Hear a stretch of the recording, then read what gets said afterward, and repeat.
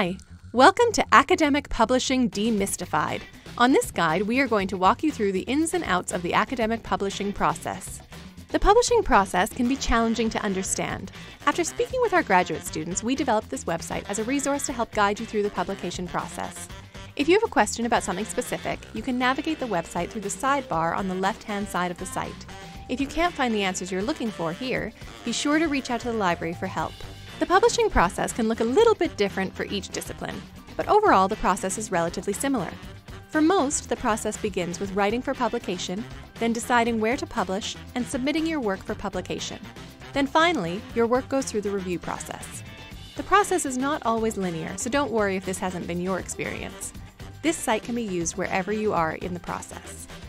We have resources that address some of the student questions that came up throughout each of these steps, including questions about the writing process and deciding where to publish, as well as questions about impact factor, predatory publishers, and peer review. We've also made suggestions for additional resources if you'd like to learn more. Take a look around our guide at libguides.ucalgary.ca slash publishing slash home.